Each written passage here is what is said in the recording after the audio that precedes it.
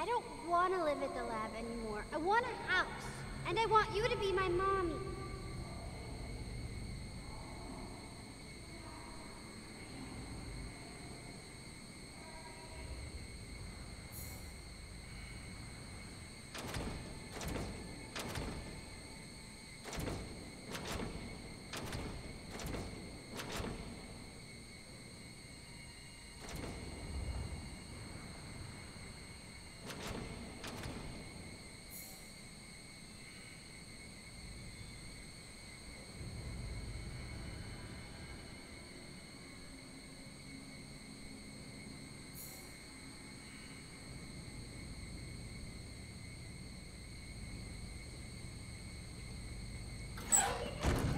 Hehehehe